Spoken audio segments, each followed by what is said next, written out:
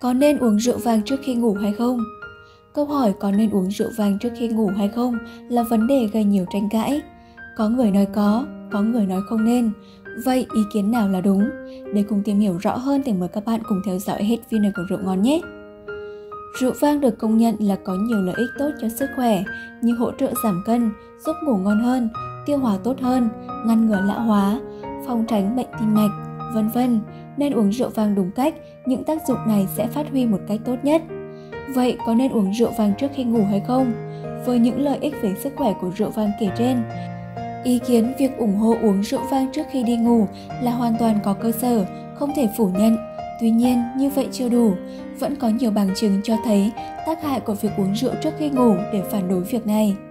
Một nghiên cứu của trường Yale tại Mỹ cho thấy việc uống rượu trước khi ngủ chưa chắc cho bạn một giấc ngủ ngon.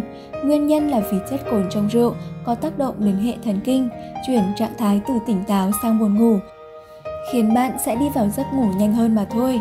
Chất lượng giấc ngủ sẽ không được cải thiện thêm. Mặt khác, nhiều trường hợp uống rượu vang trước khi ngủ chỉ giúp ngủ nhanh hơn trong vài giờ đầu tiên. Sau khoảng 2 tiếng, bạn sẽ bị tỉnh giấc, cơ thể chuyển sang trạng thái mệt mỏi, cáu gắt, căng thẳng tinh thần và khó ngủ tiếp. Chất cồn còn có tác dụng lợi tiểu, bạn sẽ tỉnh rất nhiều lần, ảnh hưởng đến chất lượng giấc ngủ. Việc uống rượu trước khi ngủ cũng khiến cho não bộ hoạt động kém hiệu quả, gây mất tập trung, ảnh hưởng sâu đến tinh thần và sức khỏe của bạn. Vậy làm thế nào để có một giấc ngủ ngon? Việc uống rượu vang trước khi đi ngủ để dễ ngủ chỉ tốt cho bạn khi thực hiện nó đúng cách. Để phát huy tối đa những lợi ích của rượu vang với sức khỏe, các chuyên gia khuyên mọi người chú ý rằng chỉ nên uống rượu trong khoảng từ 19 đến 21 giờ, cách giờ đi ngủ khoảng 2 tiếng, không nên uống rượu sát giờ đi ngủ.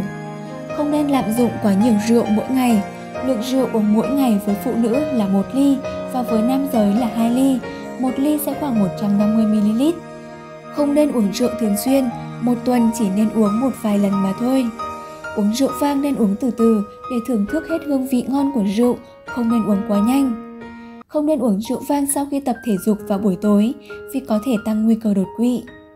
Không uống rượu khi bụng rỗng vì nó sẽ gây kích ứng dạ dày và đường ruột. Người đang dùng thuốc kháng sinh thì không nên uống rượu vang trước khi ngủ để tránh làm giảm tác dụng của thuốc.